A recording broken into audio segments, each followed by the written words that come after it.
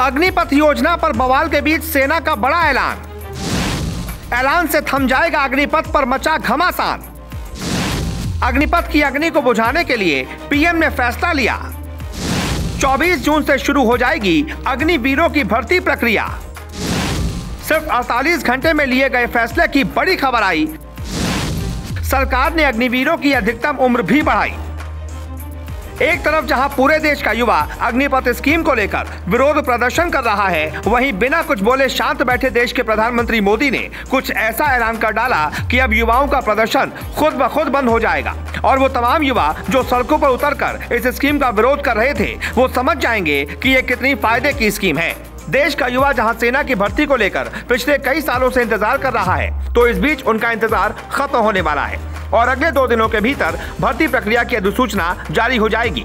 Agnipath scheme की घोषणा होने के बाद विपक्ष के साथ साथ देश के सभी युवाओं ने इसका विरोध जताया था। लेकिन पीएम मोदी ने इस मामले पर किसी भी तरह की कोई टिप्पणी नहीं की थी। लेकिन बीते 48 घंटों के अंदर देश में हो रहे उग्र बवाल के बाद अंदर ही अंदर सेना प्रमुख से भर्ती को लेकर बड़ा ऐलान करवा दिया। थल सेना प्रमुख मनोज पांडे ने शुक्रवार को कहा अग्निपथ योजना के तहत 2022 के लिए आयु सीमा को 21 वर्ष से बढ़ाकर 23 वर्ष करने का निर्णय उन युवाओं को अवसर प्रदान करेगा जो सेना में भर्ती होने की तैयारी कर रहे हैं। लेकिन पिछले दो साल से कोविड 19 महामारी के कारण ऐसा नहीं कर पाए। सेना में भर्ती के लिए उम्र में एक बार की छूट देने के सरकार के फैसले के बाद भर्ती प्रक्रिया की घोषणा जल्द की जाएगी। दो दिन के बाद ही नोटिफिकेशन जारी कर दिया जाएगा। 24 जून से वायुसेना की भर्ती प्रक्रिया शुरू हो जाएगी। अगर आपको नहीं पता है कि क्या है अग्निपथ योजना जिस पर विरोध हो रहा है तो आपको बता दें।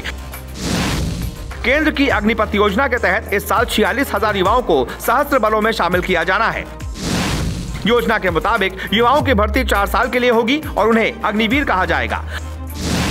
अग्निवीरों की उम्र 17 से 21 साल के बीच होगी और 30 से चालीस हज़ार प्रति महीने वेतन मिलेगा।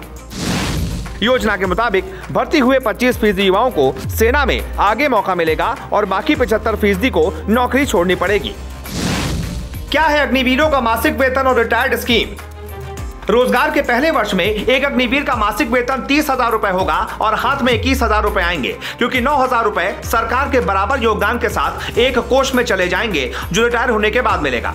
इसके बाद दूसरे, तीसरे और चौथे साल में मासिक वेतन तैतीस हज़ार रूपए, छत्तीस हज़ार पाँच सौ रूपए और चालीस हज़ार रूपए होगा। हर अग्निवीर को सेवानिधि पैकेज के रूप में ग्यारह लाख इकहत्तर हज़ार रुपए की राशि मिलेगी और इसे आयकर से छूट दी जाएगी। नई योजना के तहत चार साल के कार्यकाल में लगभग ढाई महीने से छह महीने की प्रशिक्षण अवधि भी शामिल होगी। फ़िलहाल सेना प्रमुख और पीएम मोदी के अहम और युवाओं के हित में लिए गए इस फैसले पर आपका क्या कहना है? हमें कॉमेंट सेक्शन में ज़रूर बताएँ। साथ ही साथ इस वीडियो को ज़्यादा से ज़्यादा शेयर करें ताकि छात्रों के बीच जो गफलत बनी हुई है, वो दूर हो सके और छात्र समझ पाए कि आखिरकार अग्निपथ स्कीम उनके लिए फ़ायदेमंद है। ब्यूरो रिपोर्ट, अपना उत्तर प्रदेश। अगर आपको ये खबर पसंद आई है तो ऐसी और भी खबरों को देखने के लिए हमारे चैनल को सब्सक्राइब ज़रूर करें। साथ ही साथ, सबसे पहले खबरों के नोटिफिकेशन के लिए नोटिफिकेशन बेल बजाना बिल्कुल न भूलें।